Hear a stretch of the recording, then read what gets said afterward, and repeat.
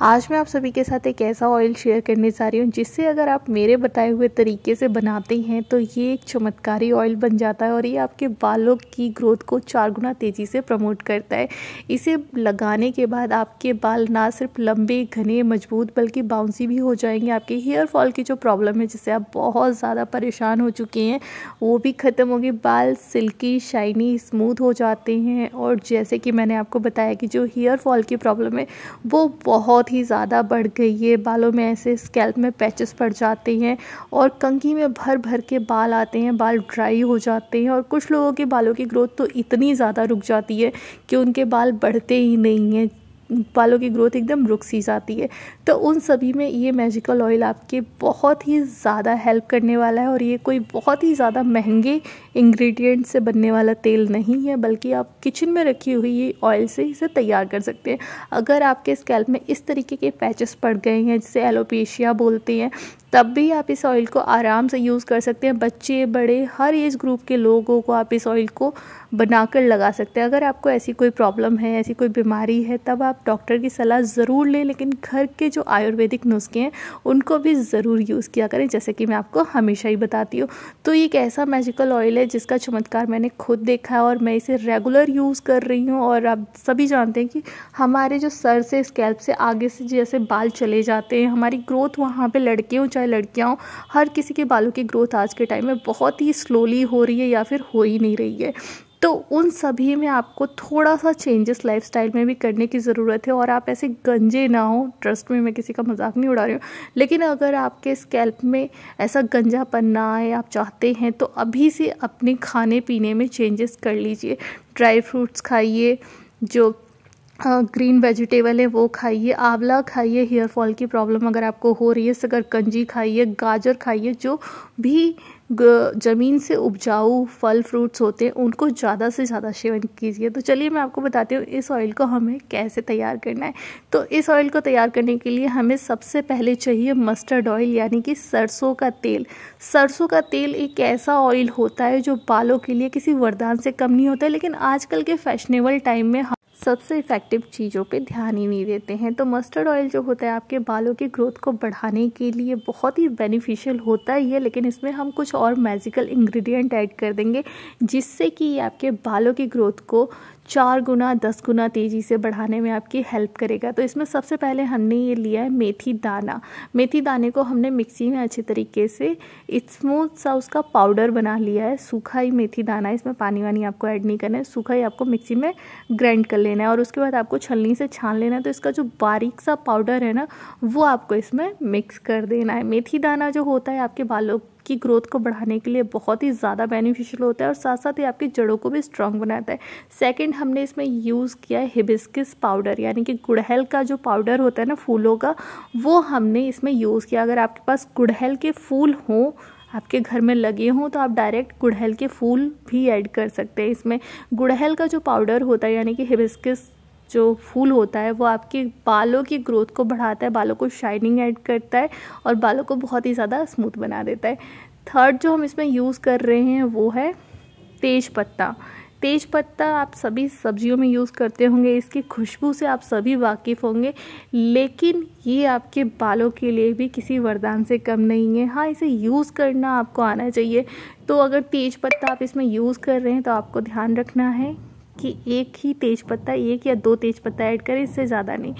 Last में हमने इसमें कैस्टर ऑयल का यूज़ किया है। कैस्टर ऑयल आप सभी जानते हैं कि बालों की ग्रोथ को बढ़ाता है पैचेस को ख़त्म करता है स्कैल्प से और आपकी जो ग्रोथ एकदम रुक गई है ना, बढ़ ही नहीं रहे हैं आपके बाल, उसे भी हेल्प करता है। लेकिन इसे कभी डायरेक्ट नहीं अप्लाई करना चाहिए, किसी भी चीज़ में मिलाकर यूज़ करना चाहिए। अब हम एक पैन में पानी गर्म करेंगे। याद रखिए, इसे आपको डबल बॉयलर की हेल्प से गर्म करना है इस ऑयल को और काफ़ी देर तक आपको गर्म करना होगा। कम से कम पाँच से दस मिनट तक आपको इस प्रोसेस में इसे रखना होगा।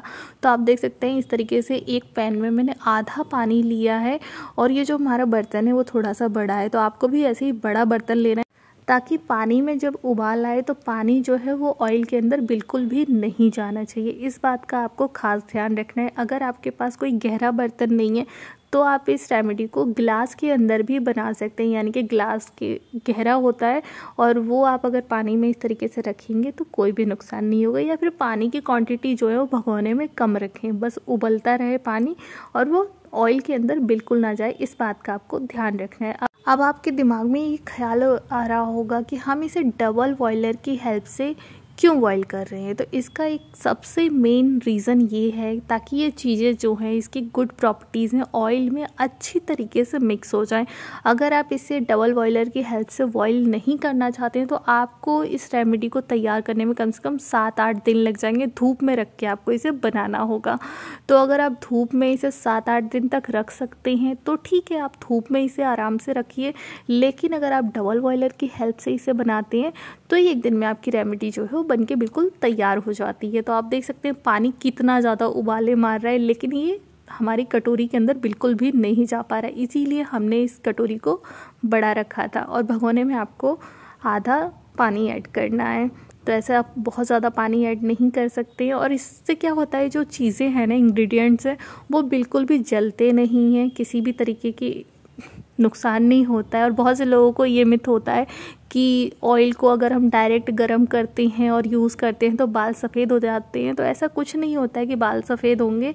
ये मैं आपको पहले भी बता चुकी हूँ कि अगर डायरेक्ट ऑयल गर्म करके भी लगाते हैं तो आपके बाल सफ़ेद नहीं होंगे और हमारी रेमेडी बन के तैयार हो चुकी है और हमने इसे डबल बॉयलर की हेल्प से इसलिए भी बनाया है ताकि जो हमारे इंग्रेडिएंट्स हैं, वो बिल्कुल भी जले नहीं। अगर डायरेक्ट आप गर्म करेंगे इस ऑयल को गैस पे तो ये जो इंग्रेडिएंट हैं, वो बिल्कुल जल जाएँगे। क्योंकि ये सारे पाउडर फॉर्म में हैं और पाउडर फॉर्म में होने की वजह से जो ऑयल है, इन सभी चीज़ों को बुरी तरीके से जला देगा।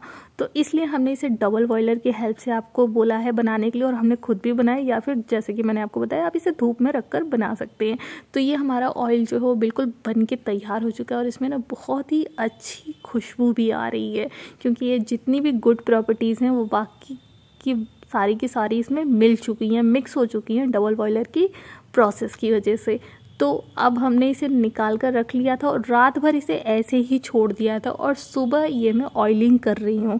तो आपको इसे पूरे स्कैल्प में अपने अच्छे तरीके से ऑयलिंग करनी है। आप बच्चे हो, बड़े हो, कोई भी हो मेल फीमेल हर कोई इस ऑयल को आराम से यूज़ कर सकता है और आपको इसे कम से कम चार से पाँच घंटे आराम से लगा कर रखना होगा। अगर आप रात में ऑयलिंग करना चाहते हैं, आपकी आदत है रात में ऑयलिंग करने की तो रात में भी आप इसे लगा कर रख सकते हैं। लेकिन अगर आप इसका बहुत अच्छा रिज़ल्ट चाहते हैं तो आपको इसे कम से कम चार से पाँच घंटे तो लगा कर रखना ही होगा। ये मैं कम से कम बोल रही हूँ, ठीक है? और ये आपके बालों की ग्रोथ को बहुत ही ज़्यादा तेज़ी से बढ़ाता है। इसके इंग्रेडिएंट जो हैं, वो डायरेक्ट आपके स्कैल्प पे काम करते हैं और आपकी जड़ों को बहुत ही ज़्यादा स्ट्रॉन्ग करते हैं। हेयर फॉल की प्रॉब्लम से बहुत ही जल्दी आपको छुटकारा दिला देते हैं और आप देख सकते हैं, मैं इसे अपने स्कैल्प के साथ साथ अपने बालों की लेंथ में भी अप्लाई कर रही हूँ, क्योंकि मेरे बालों की लेंथ जो है वो बहुत ज़्यादा रुखी सुखी हो गई है। तो इसलिए आप इसे आराम से अपने बालों की लेंथ में भी अप्लाई कर सकते हैं और ये आपके बालों की लेंथ को बहुत ही अच्छे से रिपेयर करता है। जो आपके दो मुँह बाल होते हैं वो भी धीरे धीरे करके ख़त्म हो जाते हैं, ठीक है?